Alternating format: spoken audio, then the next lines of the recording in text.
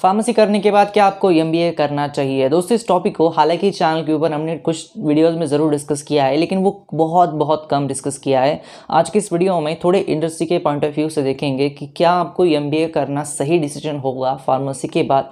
जी हाँ दोस्तों, आज की इस वीडियो में आज ऐसी कुछ चीज़ें आपको बताने वाला हूँ। ऐसी चीज़ें जो आपको करियर में बहुत ज़्यादा ध्यान में रखनी पड़ेगी। वीडियो को मैं स्टार्ट करूँ, उससे पहले अगर आपने चैनल को अभी तक सब्सक्राइब नहीं किया तो चैनल को सब्सक्राइब कर देना, क्योंकि इंडिया का इकलौता ऐसा चैनल है जो आपको फार्मेसी के तरह तरह के ऑप्शन देता है करियर के लिए।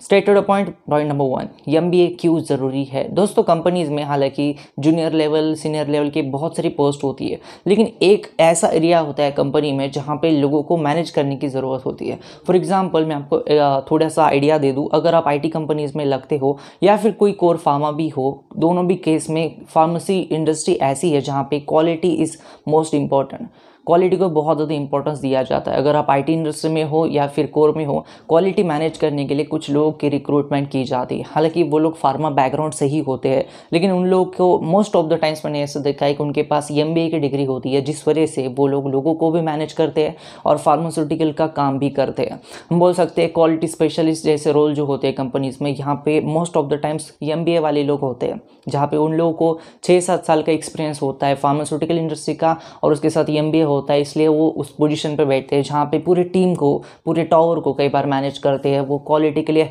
क्वालिटी के लिए मॉनिटरिंग करते मेंटरिंग करते हैं क्वालिटी के लिए लोगों को एडवाइस करते हैं। तो ऐसे कुछ पोस्ट के लिए एमबीए की ज़रूरत पड़ती है।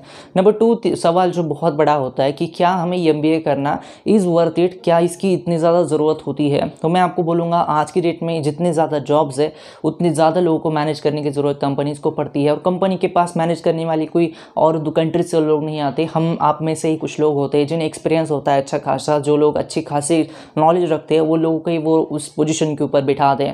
और ऐसे माहौल में अगर आप एम करते हो, एक अच्छी सब्जेक्ट से तो आपके लिए वो बहुत अच्छा टर्निंग पॉइंट साबित होगा। लैंग्वेज जो होता है, बहुत सारे लोग बोलते हैं कि फॉरेन लैंग्वेज क्या हमें सीखना चाहिए, नहीं सीखना चाहिए।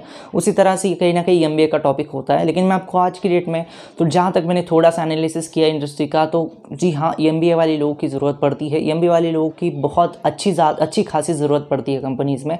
और नंबर टू थिंग उन्हें सैलरी भी कंपनी अच्छी खासी देती है, क्योंकि वो लोग सिर्फ़ क्वालिटी का काम नहीं करते, वो अपना खुद का भी काम करते हैं और उसके साथ क्वालिटी मैनेज भी करते हैं। बहुत सारे बच्चे पाँच छः साल के अंदर एक अच्छी सीनियर पोजिशन के ऊपर जाकर बैठते हैं, जहाँ पर वो स्पेशलिस्ट होते हैं क्वालिटी स्पेशलिस्ट ऐसे पोजीशन के ऊपर जाके वो बैठते हैं। इसलिए आपको एक बात समझनी बहुत ज़रूरी है कि क्वालिटी अगर आप मेंटेन करना चाहते हो या फिर फार्मास्यूटिकल इंडस्ट्री में क्वालिटी जैसे पोस्ट के ऊपर क्वालिटी रिलेटेड पोस्ट के ऊपर अगर आप जाना चाहते हो तो आपको एमबीए की ज़रूरत मोस्ट ऑफ़ द टाइम्स पड़ेगी। और नहीं पड़ी फिर भी एम होगा तो आपको प्रमोशन ज़्यादा जल्दी जल्दी मिलने की संभावना होती है। ये था आज का वीडियो जहाँ पे मैं आपको एम के बारे में बताना चाहता था। अगर आपको वीडियो थोड़ा सा पसंद आए तो चैनल को सब्सक्राइब कर देना, इस वीडियो को लाइक कर देना, इस वीडियो में कोई चीज़ कमेंट कर देना। धन्यवाद दोस्तों, ये वीडियो देखने के लिए। धन्यवाद।